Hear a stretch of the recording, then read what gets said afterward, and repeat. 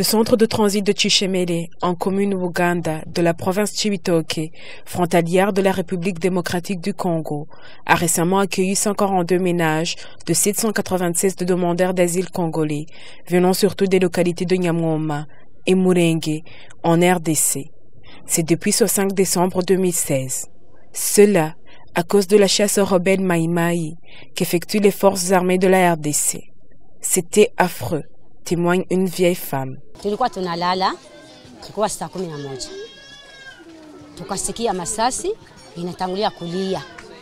Nous dormions.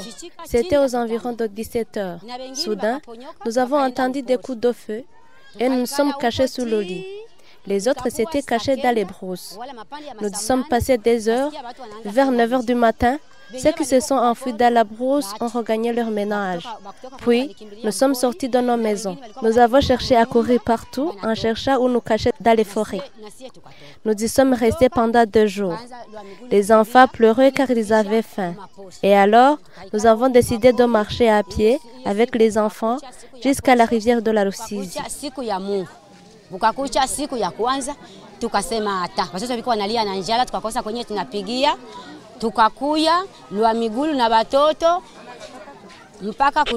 La Croix-Rouge du Burundi est la responsable de ce site.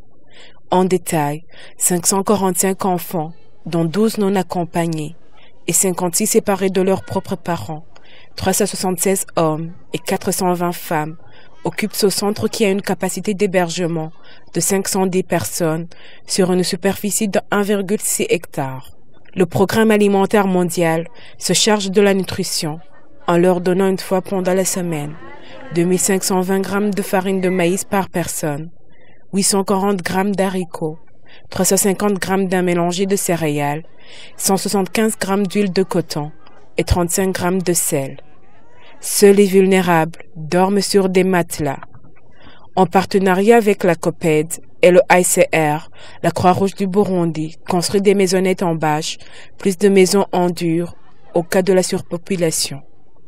Ce mercredi 14 décembre, l'Office national de protection des réfugiés et des apatrides a octroyé des statuts de réfugiés à 200 Congolais. Ils ont été transférés à Changuzo, dans le camp de Kavumu, transportés par le ICR et l'International Rescue Committee. Ceux qui restent veulent avoir aussi ce statut pour accéder au camp de Kavumu, où ils espèrent vivre mieux.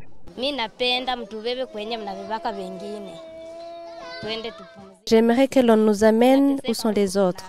Ici, c'est pénible. Nous avons faim, nous n'avons pas de bois de chauffage, nous n'avons rien pour cuire les aliments.